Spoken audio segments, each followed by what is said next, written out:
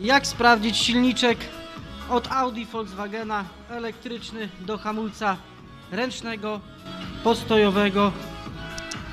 Także mamy 12V, zapinamy końcówki.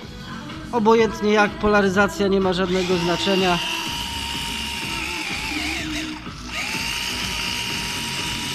Chodzi jak dzik za żołędziem. Będzie lepiej widać może jak włączę prąd. O, a nie wykalibruje się obraz. Także profesjonalną końcóweczkę zapinamy. O, jest oryginał, nic się nie stanie, nic się nie spali. Także jest hit Marek Szerocki. Czy zamienimy tak, czy damy kurwa odwrotnie, to chodzi nam po prostu w drugą stronę.